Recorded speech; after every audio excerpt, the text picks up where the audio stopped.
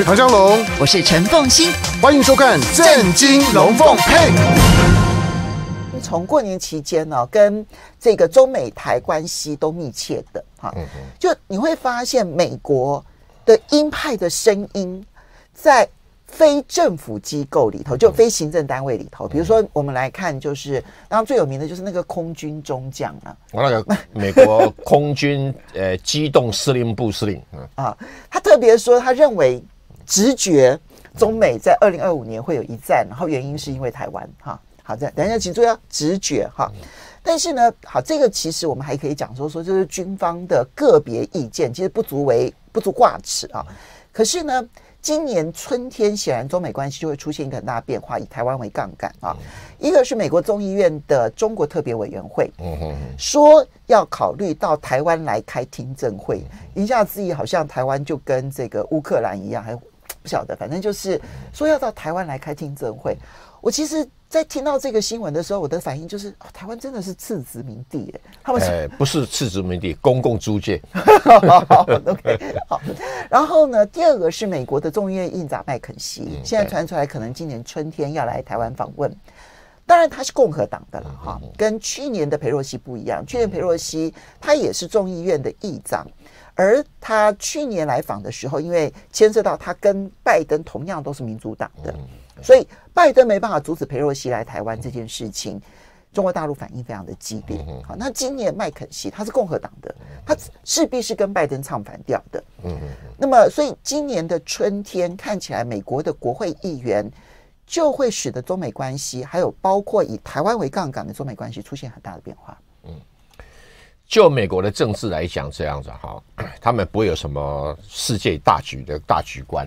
他们也不会有着中美关系该怎么处理的一个一个所谓细腻的想法，嗯，他们只想到一件事情，就选举，嗯，因为美国的众议院议员两年一任，你别看他们刚刚很多人刚刚选上哦，嗯，现在马上的两年内，因为二零二四的十一月又要选了，嗯，所以从今年来讲，就是等于是一个半呃一年又一年半左右的时间，哎，对，所以他们必须要在趁今年好好表现。因为等到了明年，他们没有什么时间出来做国外议题的表现了。哦，有道理，对啊。因为美国众议员哦，他们在选举过程里面跟台湾性质不太一样，他们是一方面竞选，一方面募款，所以不断会办各种 cocktail party 啦，各种群众聚会啦，town meeting 啦，哦，所以所以他走不开。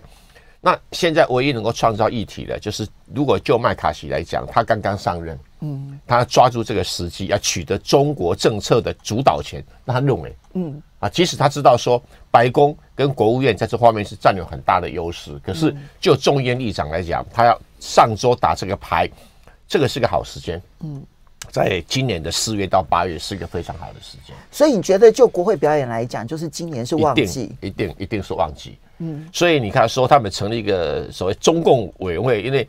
它正确名词不是中国委员会啊，而是说美国什么战略竞争跟中国共产党战略竞争，他们玩那个游戏就说中国会中共，中国会中国。对对。尤其这些人是共和党的，他会觉得说民主党不代表美国，美国不代表民主党啊。对。玩一样的游戏啊，哈，所以我是觉得今年呢，这些人都玩出什么牌啊？对于两岸之间会有比较唯一震撼的，但是我仍然不觉得两岸之间会爆发战争。因为美国的空军机动司令部哈，它是一个专门管后勤的，就是运输机啊、加油机的哈，它不是管战斗机的啊。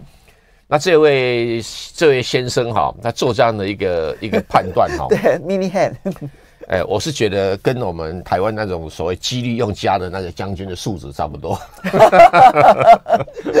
对，我跟大家解释哈，我大概从。呃，虽然我出身南宁了，但是我的判断这个问题还是很客观哈。我从去年到现在一路以来，我都判断两岸看不看不到开战的迹象。嗯，因为好开战的不能纯粹说我有军机什么样，因为我三个因素，我再重复一遍，两岸没有开战的理由。第一个理由哈，就是中国大陆现在还有三兆两千亿的美金的存款，其中有将近九千亿的美国联邦政府公债。国债对。我觉得台湾对中国大陆来讲没有价值到三兆的价钱呢。嗯，哦，很客观的来讲，你从习近平，你那个美国存款是包括了民间，包括民间，不不，纯粹是人民银行的。哦，纯粹人民银行的，就三兆两千亿。啊，国债占其中的大概八千七百亿。呃，听说到九千多，因为进进出出嘛啊。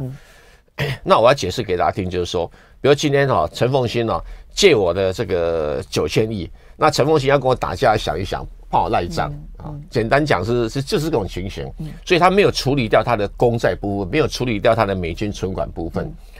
那中国大陆怎么怎么开战？嗯，因为开战的主动权基本上是在中国大陆，美国只是在政治上戳你、戳你、刺激你，看你会不会发狂。嗯，可是我是觉得习近平不是那么容易抓狂的人，嗯，很稳定啊，所以第一个不可能。嗯，第二个呢，我跟很多人不太一样，就是说哈，刚好这个呃。以前呢，在美国念书的时候，有对这种战略核子武器哦，有有稍微接触到哈。哎，你学经济的不，因为因为哈佛专门教战争经济啊，哦，对对对对对对，专门教战争经济哈。那中国大陆现在核子武器根本还不到三百枚、四百枚，嗯，哎，那美国有五千六百枚左右，嗯，那请问一下，要上谈判桌的时候，呃，你你这个几千枚的核子武器能干嘛？不会使用，但是是一个很大的威胁。嗯，啊，要说好的时候你就没有。你觉得那个数量要对等到什么样子的程度的？一千六百枚，因为一千六百枚的数字怎么来的、哦？是当年美苏谈判说我们可以 in service，就是在可以现役的核子武器不能超过一千六百枚，嗯，其他的可以库藏 OK 啊，有这么一个数字在。那你中文大陆至少要到一千六百枚嘛，嗯哼，啊，美国现在大概一千五百多枚 in service 嘛，嗯哼，但是听说俄罗斯已经早就超过了。这是现役的部分。对，现役的部分。啊，这个当然会有，因为现在已经好久没有互相去互相这个交换交换数据了，所以有的时候我们是根据过去的数据来做判断。那中国大陆无论如何，有人说已经五百枚了，有人说只有两百枚，那不管如何，数字总是偏少嘛。嗯，所以你如果没有到这么多变成个核子大国，注意到中国大陆是经济大国、政治大国、军事大国，但不是核子大国。嗯，所以你要上谈判桌，像这也你的核你的核子威慑能力就是不够有限有限。举个例子哈，俄罗斯要不是他手上有有这个六千多枚核子武器哈，嗯，我看北约早打进去了。嗯。啊，乌克兰北约军队早就进去了哈，这是第二个议题，所以中国大陆没有那个迹象说这个时候想要发动对台海战争，因为对台海战争不是两岸的战争，一定是一个国际上的战争，没错。只是这国际上的战争是不是美军跟日军进入台湾海峡来打仗，而是在外面用军事的、用经济的、用其他的力量，比如说可能会在南海截断你这个中国大陆的能源运输线或者货物运输线，这是有可能发生的事情。因为它不会进入到东风快递飞弹打得到的地方，所以你这个观察点跟台湾很多人在观察说啊，是不是希望美国跟日本都能够参战啊不会然后中国大陆的准备就是针对的是美。日，然后跟台湾一起合作的这个军事，这其实也很天真，是这很幼稚。但是你刚刚提到的是一个更大规模的，就是我如何的开战之后，我在经济上面、金融上面的伤害降到最低最低。所以第一个先来谈美国存美国的金融，呃，就你所依赖在美国金融市场上面当中，你不管是美国存款、美国投资或者美国国债那是第一，个议题，因为你会被没收嘛，现实问题，没错，或者会被冻结嘛第。二个是看核子威慑能力能够做到什么样的程度。那第三个指标呢？第三个指标就是中国大陆的很多的新的基建哈、本身哈、刚刚推出，那以这个军事训练的规模啊，如果没有个五年哦，他要进入作战模式是有一定的熟练度不够。嗯，你想想看啊，我们要骑个摩托车都要学个两个月了哈，我们要开车至少要半年才会熟悉嘛，因为新手上路请多包涵嘛。嗯开航空母舰呢、嗯，开歼二十战斗机哎、不是上去飞飞那表现一下。打仗的时候是你要一群人随时都上去，随时都能够下来。这也是为什么最近，其实我们不可能看到中国大陆解放军的军事演习减少，它一定会不断的增加，讲对讲对讲对。因为它的新式武器不断的出现对，它要不断的去磨合操练。对，而且不断的飞行员要不断的训练，因为他准备很多飞行员才能打。我们台湾在这边就很吃亏啊，嗯啊，我们大概呃好几个人要共用一部飞机啊，那种飞机不够，而且好几个人的每一个人上去的时速又不够，所以如果每一次大陆来，我们都要上去警上去警戒，上去警戒哦。那我看我们空军的这些他们现在已经不上去警戒了嘛，对他们已经只是用雷达、雷达、雷达锁定会被累翻了哈，而已对。所以有这三个因素哈，我观察短期内，我所谓短期至少两年内哈，诶不会看到任何战争发动的迹象。这样看起来的话，其实我们第一个要观察人民银行的金融资产的变化，对不对？对对第二个看它核子武器的备准的这样状态没错没，错。然后第三个部分看军事武器的这个磨合的状况。因。为比如举个例子哈，他们现在据说要要有这个将近五百五百架的歼二十嘛，嗯，那现在只有一百架吧，嗯。啊，那一百架到歼到到五百架可能还有点时间嘛，嗯，所以整体来讲，中国大陆的作战准备量够，可是它的量不是为了打台湾，它打台湾早就够了，嗯，它为了是要应付一个它的供应链可能被截断的一个战争，嗯，因为那个你大中国大陆封锁台湾海峡的不是问题，可是你中国大陆现在的军力没有办法封锁马六甲海峡。啊，这是事实。啊，而且在那个地方哦，美军有有高度的优势。这，就是为什么南海议题会那么高度受到关注的原因。对，哎，所以我从这几个指标来观察的话，哈，你就中共政治局的人要决定来发动台海战争，时机不对，不对，准备不够，嗯，不符合习近平所讲的“召之哎即来，来之能战，战之必胜”，还没有到那个程度。但是你觉得，嗯，美国，你看到现在他的军方啊，不断的去谈说，不管是二零二五年、二零二六年、二零二七年，会有人谈二零二四年，哈，就是不断的去点名中美必定会有一战，而是而且是因为台海的关系。这里面其实牵涉到了就政治上面的刺激的临界点在什么样子的地方？对，没错，好，那么它政治上面可以刺激到你，你终究必须要磨耗掉你所有的战略耐性。也许你的战争准备上面没有到你觉得完美的时候，可是战争就要开始的。应该这里面哈，就是发动战争权、主动权还是在中国大陆，嗯，这是一个客观的现实哈。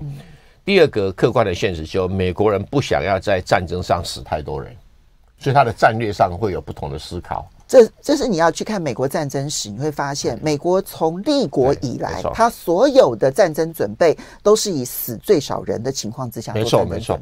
因为美国也没那么多军人可以死。我们平常心讲，他的军队规模、武器规模很庞大，嗯，可是他军队规模并不大，没有解放军那么大。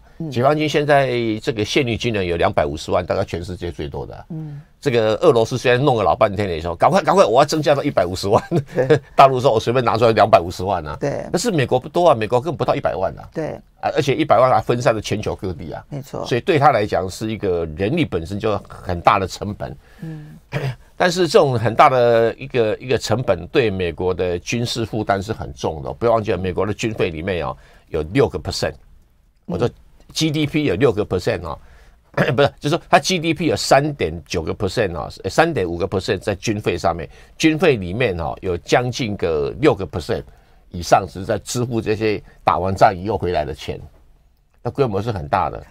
退出一官等于是兵的钱，抚恤退对对抚成本退抚成六本，趴是很高哎，这很高哎。不是人事哦，是退啊，不是不是人事。退伍成本六趴是很高的一个数字啊，所以，呃，对美国来讲，打越多战，这个成本越高嘛，嗯。啊，所以所以他们会会有找人的困难在这里面哦，而且越找素质越差，这是美国必须面对的一个问题哈。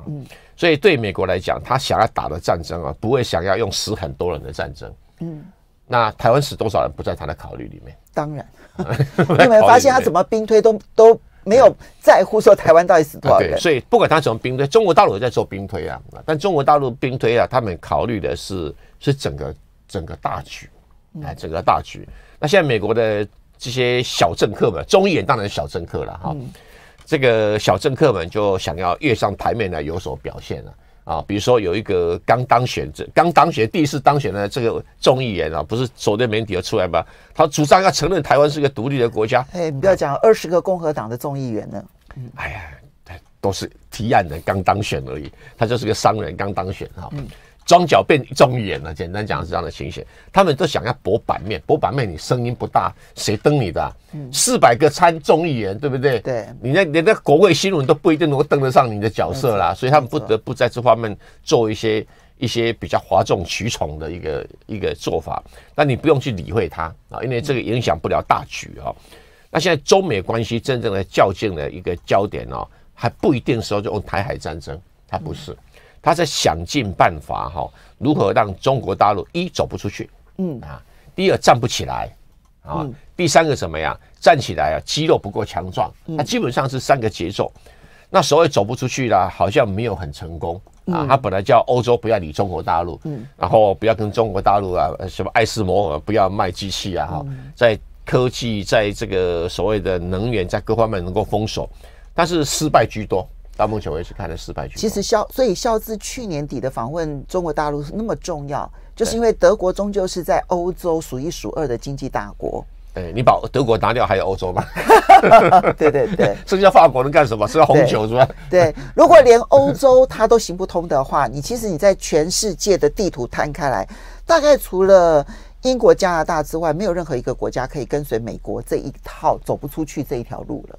啊，因为英国跟加拿加拿大跟中国大陆本来就没什么贸易的来往，所以它不需要靠中国大陆的贸易。没错，它百分之七十的出口是到美国去嘛。没错，到中国大陆比重大概不到十十五趴嘛，所以对他来讲不是问题。那英国又比较复杂，因为有涉及到以前的香港的这个旧恩旧怨，哦，那这个就很复杂了。对。所以英国觉得被中国打了一个大耳光嘛，所以他对他来讲内部的政治情绪比较复杂一点，而且他现在要脱欧了哈，现在经济也蛮惨的。嗯，但是就欧洲来讲哈，德国是指标性的。对，那德国很清楚的，他是被美国耍了一招，而且这一次因为俄乌战争被美国糊弄成这样子的哈，他也蛮为难的。可是他的战略处境是很可怜，他是一个经济大国。但是他不是政治大国，也不是军事大国。嗯，他每一次想要领导欧洲，是要拿钱出来补贴人家，人家才肯听。他没有基本上的道德威望，也没有很光荣的历史。嗯，所以对这个德国来讲啊，要选出一个比较弱势的政府，消失这个政府摇来晃去嘛，他自己也知道很困难。嗯，所以这个时候能够很勇敢的走到北京去，已经是很不容易了。嗯所以我想看在北京里面，看的在眼里面很清楚说。肖兹能够走到中国大陆这一边呢，不完全那么亲美啊，已经很不容易了。下一步其实包括了马克宏，还有很重要的是，如果他连意大利的梅洛尼都能够收服的话，那意大利梅洛尼哈是一定会靠向中国。嗯，但是马克宏不一定。嗯，马克王因为我长期观察他的政治风格哈，他都打短线投机的。嗯，这种短线投机的哈，美国不看好你，中国大陆一定不看好你。你看你在在欧洲这样这个这样跳来跳去，跑到拜登他们去，你都不理你，你鼻子摸摸就回去了。他去抱怨说啊，你卖我天然气太贵啊，有吧？哦，我们 组个委员会来解决啊，你你抢我的这个糊弄他，对，糊弄他，你抢我的这个潜水艇订单。那当然，澳洲现在也满鼻子灰啊！你不是要卖给我这个核能潜艇吗？怎么到现在都没个影子啊？但是我已经得罪法国了，所以这个方面是基本上法国弄了一团糟。好，那更不要讲阿拉伯世界，也不要讲东南亚啦，然后还有包括了亚洲的其他地方，基本上非洲啦、中南美洲，所以走不出去这一条。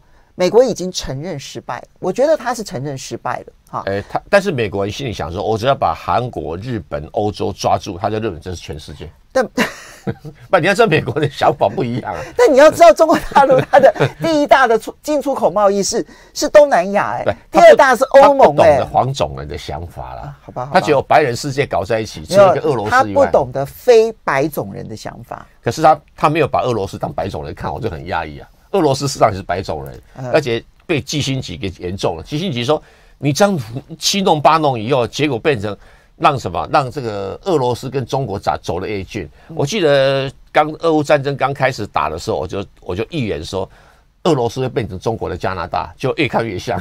对，现在看起来是了。好，第一个走不出去这件事情走不通了。那第二个，美国的策略是说让他站不起来。对，没有错，站不起来。你觉得这个策略呢？到目前为止，这个策略是到目前为止失败的。嗯，科技战是其中的一个部分吗？呃，科技战是其中一个部分呢，但是他抓的这个半导体科技，我我判断他抓错了。好，我们再来讲站不起来这件事情啊，因为其实今年呢，我们刚刚提到说，会不会有擦枪走火的热战？你认为不会？其实我从头到尾认为不会。嗯，好，那既然是不会有擦枪走火的热战，事实上我们看到美国的国家情报总监海恩斯他说，北京对台湾仍旧是优先考虑和平手段。嗯，海恩斯不是鸽派。他是一个情报分析人员，对，很不错的情报分析人员。所以他只是说实话而已，并不是说他对中国大陆友善。所以说他其实对台湾是要用和平手段，而是他的判断其实就是如此。对，这跟我们现在判断说今年其实两岸之间应该还不至于有那个擦枪走火的热战。哈，那有牵涉到擦枪走火也不有热战，我更肯定的这样讲。好。